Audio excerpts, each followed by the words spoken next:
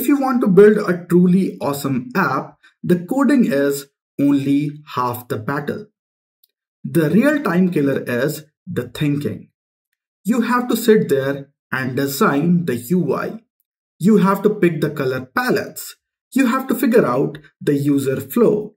Usually, just planning a production ready app takes weeks. And you know, I just finished a project that usually takes me a full week and I did it in just one day. And I would say not even one day, I did it in few hours. I did not rush. I did not produce bad code. I built a modern neon themed multiplayer chess game within few hours. If you want to ask how, well, Google just dropped a bomb on the developer community. Everything I just described is now possible with Google's new tool called anti-gravity.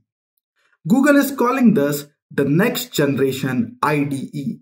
And for once, I think the marketing might actually be true. They are pitching this as agent first workflow, meaning you don't spend hours fighting with CSS grids or debugging syntax. You act as a manager.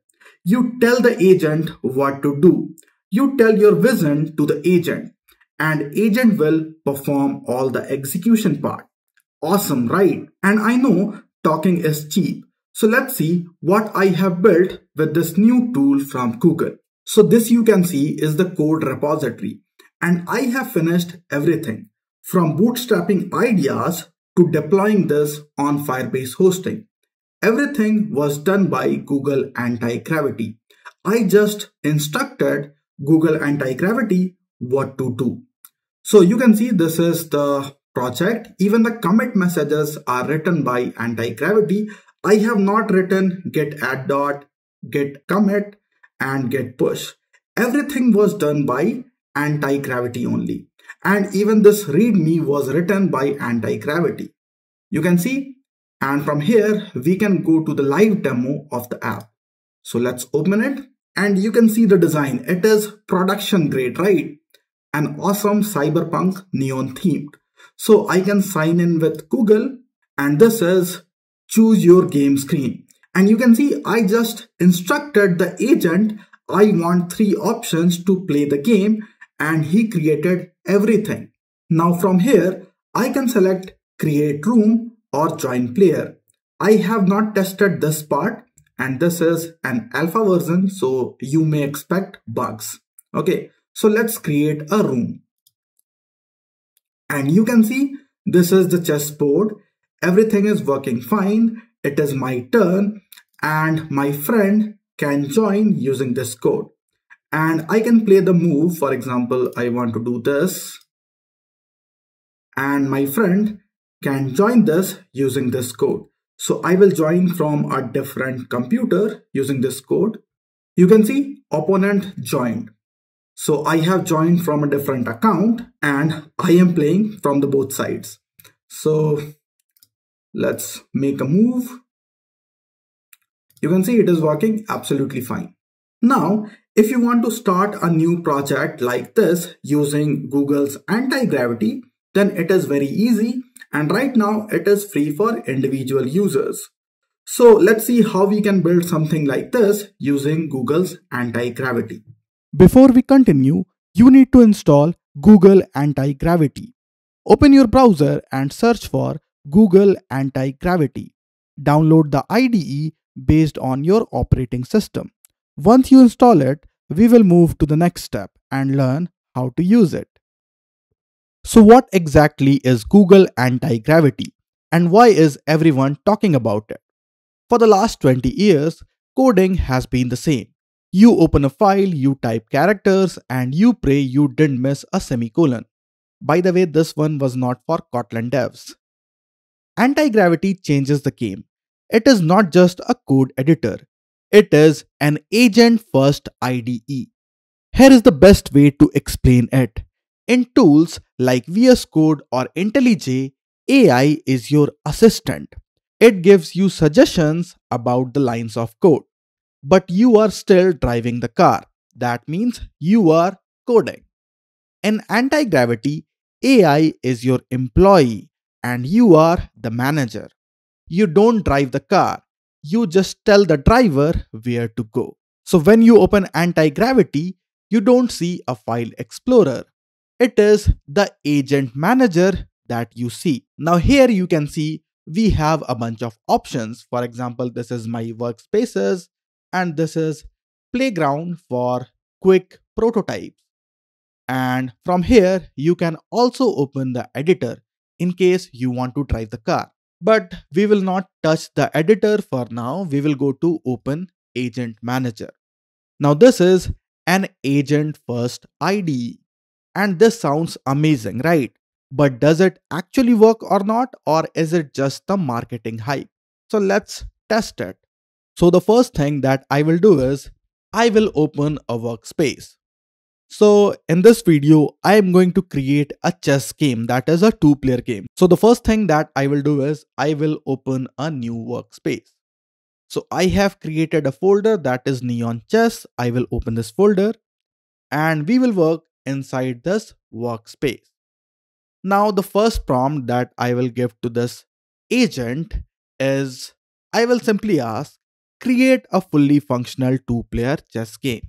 I will also add Ensure that the board is centered and playable in the browser immediately. I will add more instructions like a manager.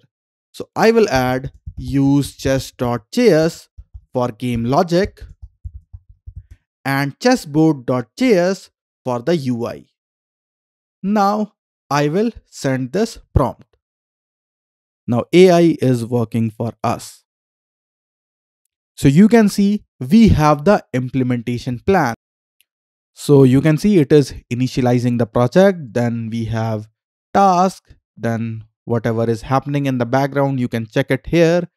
And finally, you can accept or reject because it can also run commands in your terminal if it needs to install something. So in this case, it wants to run this command that is npm create vite latest and I will accept this. So it is running the command. By the way, I don't know what is this vite. So we can check this out later. For now, let's see how it goes. So again, we have one more command that I will accept. Bingo, our chess is ready and it is running at this localhost 5173. So you can see our board is ready. We have all the characters and I think it should be playable. So it is saying white to move. So let's try to make a move. So I think it's not working. And you can see because there is an error, agent is running. And that's why the move is disabled. So what we will do is we will go back to the anti-gravity. And here you can see the agent is working. So you can see it tested the application and it has made the move and recorded the output. Let's open it in browser. Let's try to make the move. And bingo, it's working fine. So you can see now black to move. So let's move this. Working absolutely fine. Can I cut the pawn? Yes, I can. So chess is working absolutely fine and agent has done its job. But the chess is looking very boring, right? So let's make it interesting. Now here, before moving ahead, if I go to the editor, I can click open editor, then you can see I have all the codes, all the files here. So it has created counter, main, and other files. And it is working absolutely fine so far. But we will make it more interesting because right now it is very boring and it looks like a school project. So let's open agent manager because we are not the coder, we are manager. So we will tell the agent what to do and we will wait for agent to finish the work. So what I will do here is I will ask the agent to make some visual changes. So I will write complete the visual changes, I want a cyberpunk 2077 aesthetics. And I will give some more instructions. Background should be dark. And for the board, I want neon blue grid lines. For the pieces, I would like to use font awesome. Now let's send this message and wait for the AI to complete the work. So after a few hours of going back and forth and writing prompt after prompt, I finally have it. I was actually able to build and deploy exactly what I wanted. This neon themed multiplayer chess game. You can see it here. It is working absolutely fine. This is the URL where it is deployed. You can check it yourself. And here you can see I have written prompt after prompt. I have told the agent what he needs to do. And it was little hectic, but I was able to make this nice chess game. And here is the crazy part. Even though I don't have deep knowledge of this specific web stack, I finished the entire project. And I mean the full package the game logic, the neon themes, the animations, the sound effects, etc. But it goes deeper than just the visuals. I set up the GitHub actions, I built the CI CD workflow, I designed the database structure, and I successfully deployed it all. And trust me when I say this, I did not write a single line of code myself. I did not even run a single terminal command. Everything was done by anti gravity. I simply used prompts to tell the agent what to do. This was the first time I truly felt like a manager, not just a coder. Now, it wasn't perfect. I did hit the quota limit a few times, so you have to be patient. But considering the result, that is a small price to pay. I am truly impressed by what I built today. It is still early days for this technology, but I am excited to see where anti gravity goes in the future. Now, I want to know what you think. Is this the future of development or do you prefer the old school way? Let me know your views in the comments below. Thanks for watching and I will see you in the next one. Bye bye.